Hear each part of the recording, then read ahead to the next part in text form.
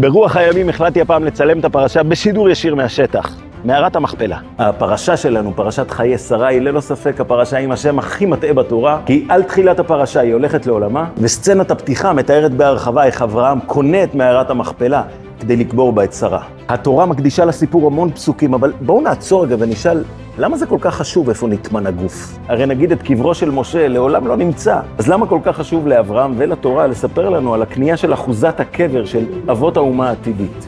אלא שאברהם, שקיבל הבטחה על ארץ כנען, על ארץ ישראל, מבין שאין דבר נצחי יותר מאחוזת קבר. אדם יכול להיות בחייו בהרבה מקומות, אבל המקום שבו הוא נקבר, זה לכל החיים. זאת אומרת, לכל המוות. זה, זה המקום שממנו הוא לעולם לא יזוז. האתר הזה הוא אחד משלושה מקומות בארץ ישראל שיש עליהם עדות בתנ"ך שהם נקנו בכסף מלא.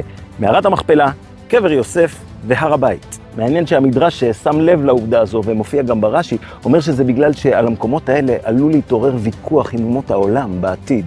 וואלה, מאיפה הם ידעו? והתנ"ך, כמו שאמר אז בן גוריון לנציגי ממשלת אנגליה, הוא הקושאן שלנו.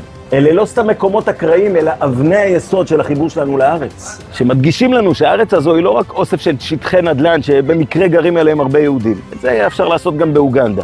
זו הארץ שלנו כי כאן היה בית המקדש, נקודת החיבור בין שמיים וארץ, וכי כאן חיו ונקברו אבותינו. לפני חודש קיבלנו תזכורת כואבת במיוחד, מה קורה כשאנחנו קוראים חלק מהארץ שלנו רק כדי להרוויח שקט מדומה. היום כבר כולם מבינים, המלחמה שלנו מול האויבים שלנו כאן היא לא מלחמה על שטח, זה לא מלחמה על הכיבוש של 67, גם לא על הכיבוש של 48, זוהי מלחמה על עצם קיומנו כאן. הגיע הזמן להגיד בראש מורם ובקול ברור, חזרנו הביתה אל ארץ אבותינו, ואנחנו לא הולכים לשום מקום. ועכשיו תסלחו לי אם אני כבר פה. אני צריך לדבר עם סבא וסבתא על 240 נכדים ונכדות שצריכים עזרה. עם ישראל חי.